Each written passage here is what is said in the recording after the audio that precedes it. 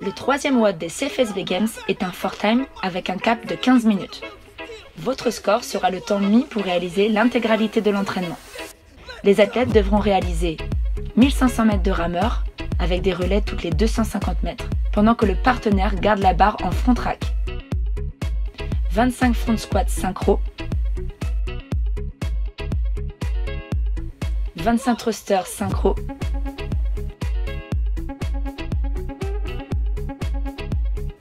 Pour les Team RX hommes, le WOD se poursuit avec 15 chest to bar synchro et 15 ring muscle up à partager.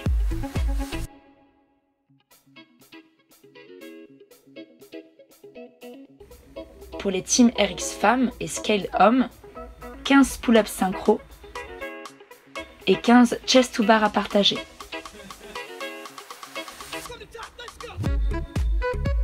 Pour les Team Scale femmes, 30 CrossFit push-ups synchro. Pour le rameur, vous ne pouvez ramer que si votre partenaire est en place en front rack. Pour les front squats et les thrusters, la synchro se fait en bas et en haut de chaque répétition. Vous devez passer par une flexion complète, hanche en dessous des genoux, et finir en extension complète à chaque répétition. Pour les chest to bar, la poitrine doit toucher la barre en dessous des clavicules. Les bras doivent être tendus en début de chaque répétition et les pieds doivent passer derrière la barre. La synchro se fait au contact de la barre. Pour les ring muscle up, la répétition commence bras tendus suspendus aux anneaux et termine bras tendus en haut des anneaux.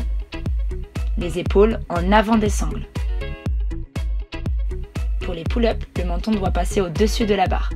Les bras doivent être tendus en début de chaque répétition et les pieds doivent passer derrière la barre.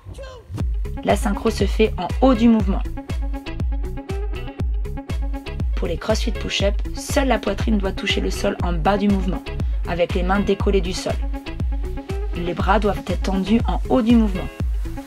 Attention, les push-ups sur les genoux ne sont pas autorisés. La synchro se fait en bas et en haut du mouvement. Bon WOD à tous de la part de l'équipe CFSB.